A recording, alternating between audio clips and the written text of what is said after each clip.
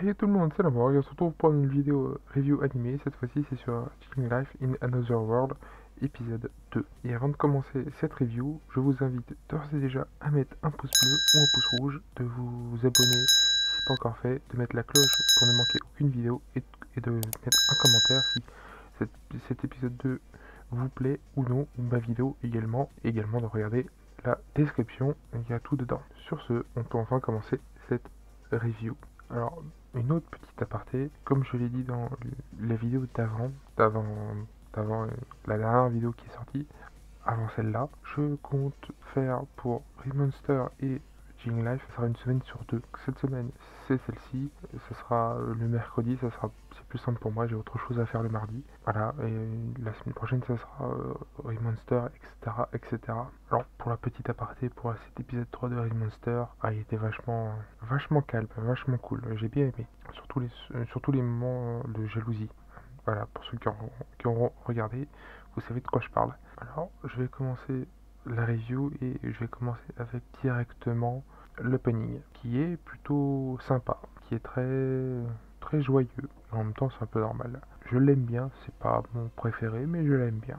maintenant que l'opening est fait, je vais alors tout n'est pas dans le bon ordre, mais c'est pas grave. Je vais commencer par le héros, même si c'est pas lui qu'on voit en premier. En gros, le héros est, comment on pourrait le qualifier, de gros lâche, réellement, puisque quand il y a combat, il fuit. Déjà, il se met à l'arrière, au lieu de, se mettre à l'avant euh, des soldats. Préfère se mettre à l'arrière et quand il y a un combat qui s'engage, il. Et quand, il, quand les soldats qu'on lui a confiés perdent, c'est la faute des soldats, pas, pas de sa faute. Voilà, en gros, c'est un l'âge doublé d'un connard. Bon, ça, je l'avais dit dès le départ, ça se voyait dès, dès l'épisode 1. Au moins, ça change pas, c'est ça qui est bien. Donc maintenant que lui c'est fait et que euh, on va pas y, y revenir de l'épisode parce que ça ne sert à rien, je vais donc pouvoir parler du reste de l'épisode qui était quand même bien mieux. On a eu la suite et la fin du combat contre entre Fenris et, euh, et Furio. Comment dire? Ce fut un combat. Euh, je dis pas que le combat est mauvais, mais bon, lui veut pas vraiment euh, se battre, compte pas se laisser faire, mais étant donné que c'est pas un combattant, bon, il est pas incroyable quand il se bat. Il a, il a juste sorti un sort de gravité super puissant et bah, il l'a battu comme ça parce qu'elle pouvait plus rien faire et elle juste elle a enchaîné des sorts qui sont fait euh, annuler. Bah, elle, est, elle plus de mana donc elle a perdu comme ça. Voilà. Oui, le leur combat est un peu euh, pas stupide mais euh, c'est pas le meilleur combat au monde hein, clairement. Par la suite, il, elle a perdu et elle le reconnaît comme, son maître. Pourquoi? Parce que c'est une, une lycanthrope et quand un adversaire le bat, bah, lycanthrope, elle, le lycanthrope en question le reconnaît le vainqueur comme étant son maître. Parce que lui, il veut pas vraiment ça? Quitte à, à, quitte à vivre ensemble, elle ne, il ne veut pas la tuer, il ne veut pas qu'elle meure non plus, il ne veut, voulait pas euh, la, la, soumettre par, par la force et par un sort en, question. Il voulait pas faire en gros comme son ancien monde, tout simplement reste compréhensible même s'il est un peu trop gentil sur les bords? Il sera une tendance à m'agacer au bout d'un moment. Aïe, au passage, elle a changé de forme, elle est devenue. Elle a pris une apparence plus humaine. Plus humaine et surtout euh, complètement nue au, début, mais enfin bref, peu importe, c'est un détail. Par la suite, ils vont aller donc euh, auprès de la guilde pour l'enregistrer aussi en tant que membre de la, guilde pour qu'elle puisse faire aussi des quêtes avec lui, forcément. Et c'est à partir un peu avant ça qu'ils euh, vont faire en sorte qu'ils vont se mettre ensemble, même si c'est pour le moment en tout puisque je connais la suite et je me rappelle, pour le moment c'est un faux couple. Ils jouent les couples d'un rôle, pour le moment. Vous verrez bien pourquoi en temps et en heure. Pourquoi je dis ça, pourquoi de cette façon-là. En temps et en heure, vous comprendrez. Et il y a une annonce qui est faite à cause du héros par rapport, par rapport à lui et par rapport aux, ours euh, Barjo qui, euh, qui, ont mis en déroute euh, l'armée du héros, hein, tout simplement, par rapport à ce que j'ai dit plus tôt. Voilà. Et donc du coup, euh, lui n'est pas très chaud pour y aller. Il se dit qu'il n'est pas assez fort, c'est trop dangereux. Euh, il veut... Par contre, ça aussi, ça a m'énervé, c'est le fait qu'il ne veuille pas comprendre qu'il est cheaté juste. Ça aussi, ça a une, ça a une tendance déjà à m'énerver au bout de deux épisodes. Et c'est pas fini. C'est loin d'être fini, malheureusement. Pourquoi Et il finira par y aller puisque elle voudra y aller euh, seule et lui voudra pas, voudra pas la, laisser y aller seule, tout simplement. Et ils y vont, et une fois qu'ils sont sur place, en se téléportant là, là encore, ils vont retomber sur euh, les euh, quatre nanas qu'ils ont vues euh, dans le premier épisode. Rappelez-vous, la chevalière, et en gros, ils les sauvent. Voilà, les deux sauvent leur groupe qui sont un peu en danger. Là encore, à cause du héros, le roi a décrété que tous les chevaliers devaient pouvoir battre un, un, ours, un ours par jour ou un monstre équivalent à celui-là tout seul. Voilà, c'est bravo. Le, roi est un peu con et le héros est pire encore. Bref, ça va pas s'arranger au cas où.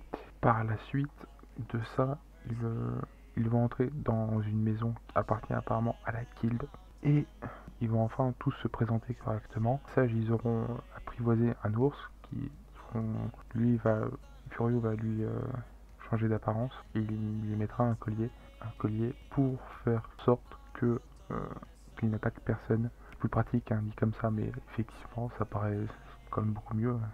Donc, une fois que tout le monde s'est présenté, une fois que euh, ils l'ont, une fois que Furio a précisé que Lys est sa femme, son épouse, oui, parce qu'il l'avait pas fait juste avant, elles voudront, alors au préalable, elles voudront être entraînées par lui au combat être aussi fortes que, lui. Et étant donné que c'est un peu une bille au niveau combat, il n'est pas vraiment, pas vraiment sûr de pouvoir le faire, même si Lys étant pas très chaude non plus, mais ça c'est pour autre chose, elle finira par accepter, finira par accepter à sa place surtout.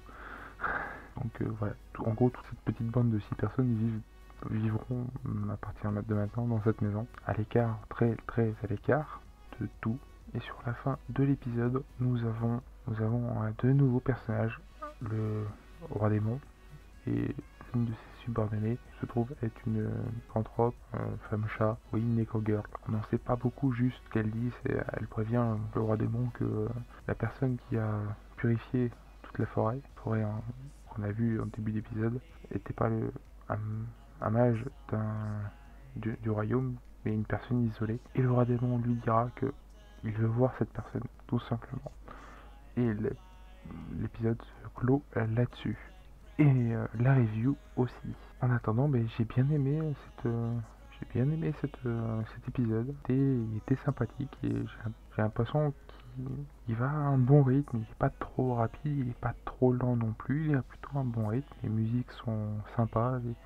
Le seul truc que je n'ai pas encore parlé, mais le seul truc qui me chagrine un peu, c'est que la voix de Lys est pour moi un peu trop enfantine. Mais vraiment un peu beaucoup trop enfantine. elle est vraiment, euh, ouais, c'est vraiment trop, euh, trop enfant. Enfin, après c'est juste par rapport, euh, par rapport à ce que moi j'aurais imaginé pour sa voix, mais enfin après ça c'est autre chose. Et pour moi, ouais, elle paraît vraiment trop, trop, beaucoup trop enfantine en fait. Mais bon, c'est comme ça, pas vraiment le choix. Hein. Enfin bref, mais en attendant, l'épisode en globalité, je l'ai plutôt bien aimé. Après, ça reste un, un monde de fantasy plutôt assez classique, il n'y a rien qui euh, va changer quoi que ce soit jusqu'à la fin, euh, jusqu'à la fin, ça faut, pas non plus euh, y croire. Enfin bref, je ne vous tiens pas plus la jambe. Sur ce, vous pouvez toujours mettre un pouce bleu si ça vous a plu ou non. Si ça vous a pas plu, vous pouvez toujours mettre un pouce rouge. Vous pouvez également mettre un commentaire pour me dire ce que vous en pensez, je vous lirai. Et également de vous abonner si ce n'est pas encore fait, de mettre la cloche sur toute pour ne manquer aucune vidéo aucune notification qui va avec, de regarder aussi la description, vous verrez tout est dedans. Et moi je peux vous dire sur ce, c'était Limborg, à une prochaine vidéo, à plus tout le monde, bye bye.